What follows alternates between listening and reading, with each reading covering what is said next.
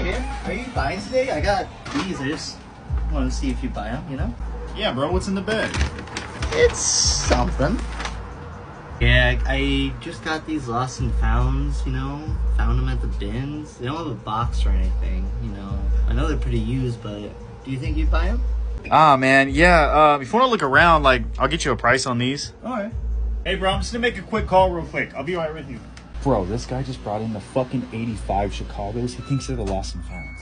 Man, those shoes only cost me $3. No matter what he gives me, I'm gonna be fine with it, you know?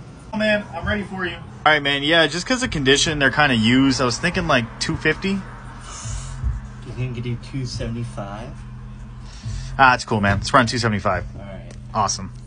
And here you go. Appreciate you. Appreciate you, brother. Have a good day. Man, that guy was so dumb. He probably didn't even know that I spent three bucks. Yeah, dude, that guy was an idiot. He just took 275.